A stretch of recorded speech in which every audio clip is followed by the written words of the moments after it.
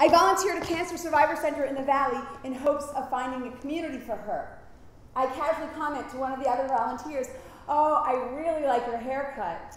Oh, thanks. I'm just glad I have hair. Someone else chimes in, Breast cancer? No, brain. As we continue around the circle, it becomes apparent to me that I'm the only woman in the room who hasn't had cancer. That's when it hits me. My body's perfect. Perfect. Normal, vital organs, healthy blood count, luscious, fleshy thighs that I could wrap around somebody's ears should I so desire. and a perfect, ample ass.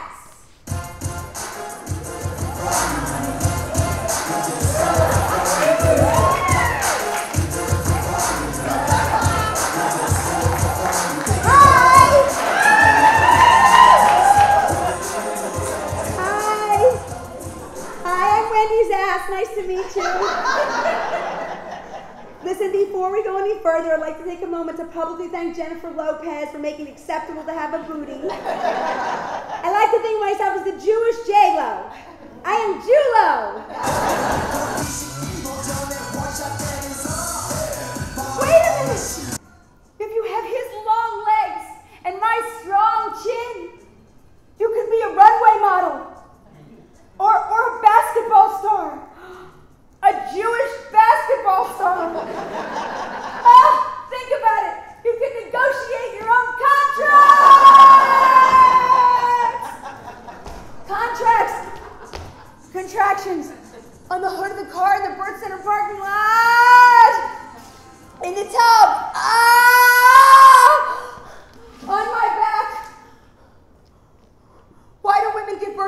Position?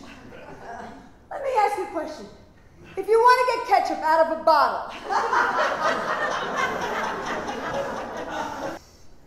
pregnant,